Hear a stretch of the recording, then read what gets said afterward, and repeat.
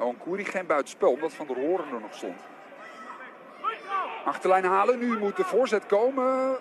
Robben